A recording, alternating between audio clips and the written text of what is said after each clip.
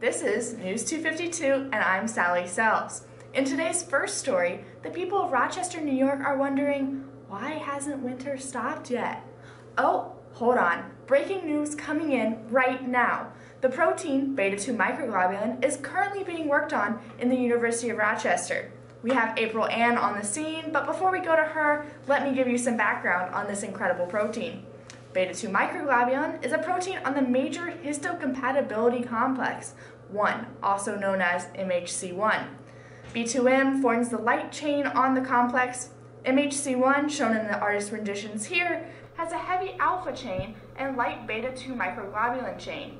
Beta 2M binds to the alpha 3 heavy chain of MHC1 via non-covalent interactions. These non-covalent interactions occur between tryptophan 60 of the beta-2M and the alpha chain. This tryptophan molecule can be seen at the bottom of this ribbon diagram. B2M, shown here in two different videos, is a protein consisting of 99 amino acids that form seven anti-parallel beta strands. These beta strands form a sandwich on each side. One side of the protein has three beta strands, the other side has four. The two sides of the sandwich are held together by disulfide bonds. This structure makes a part of the immunoglobulin family. These immunoglobulin domains can be found in antibodies. Both the relationship to MHC1 and the immunoglobulin structure resemble antibody complexes. This structure is advantageous for attaching antigens and other molecules to the cell. B2M is on the outside of antigen-presenting cells, or APCs. It helps put molecules on the surface of every nucleated cell in the body. This main function of B2M allows for T cells to check for infection. For this reason, it is considered an important molecule for our immune system. Now that you have some context, let's go to April, who's at the University of Rochester now. Thanks, Sally. Like you said, B2M is being researched at the University of Rochester right now. I'm here outside of their library. This protein was initially discovered in the urine of cadmium poisoned patients. Since then, it has become a protein of interest in many diseases. Although it helps us fight disease by activating T cells similarly to how antibodies activate them, it also is the cause of other diseases such as kidney failure and Alzheimer's. When B2M functions normally, it helps the body, but when denatured, things become messy.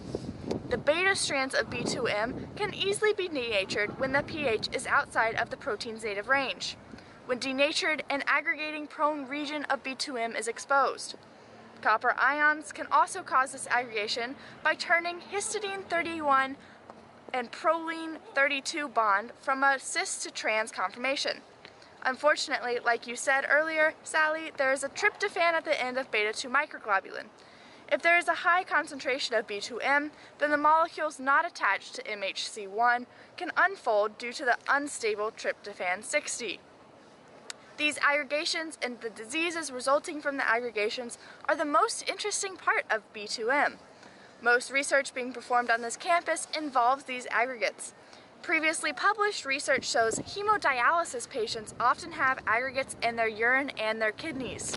Quite disgusting. Some research being worked on currently involves how to reduce these amyloid aggregates from building up to help these patients. Other recent research shows that B2M levels are elevated in melanoma patients, and now we want to know why. Could this research lead to a cure for this aggressive cancer? No one knows, but we sure hope so.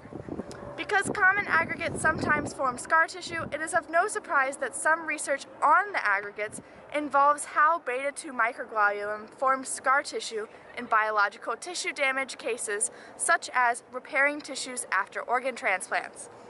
Another interesting find is that increased B2M levels results in premature aging and thus diseases like Alzheimer's and dementia, and maybe even some wrinkles.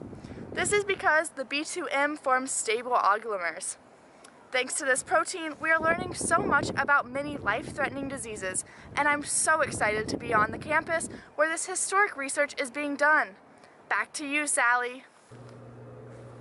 Wow, April. I'm so glad that we got to be present for this amazing news. After the commercial break, we'll be back to the fake news. Thanks for watching. I'm Sally Sells, and this is News 252.